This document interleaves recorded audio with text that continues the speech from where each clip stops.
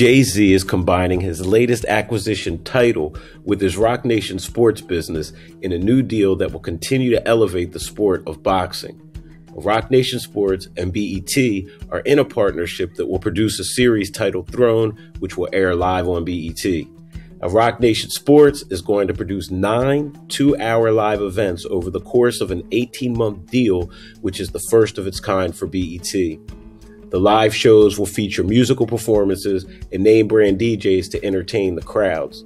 The first fight will feature Roc Nation Sports' WBA super middleweight champion Andre Ward, who will take on England's Paul Smith at the Oracle Arena in Oakland this June. Andre Ward is happy with the deal because it puts him in front of a whole new audience. Is like personally for myself, like I've always tried to to go against the grain and not just for the sake of doing it, but but if it makes sense and if I'm comfortable with it and this is obviously something new with Roc Nation. And now, ladies and gentlemen, once They're- again, they're- we want Roc to Nation it is a powerhouse and everything that they've touched. Jay Z is a very here the uh, astute Madison businessman, Square Garden from and um, I believe it's going to transfer over into the sport of boxing. It seems like a great deal for Roc Nation Sports and TIDAL, which will be put in front of 90 million homes during each of the live boxing matches.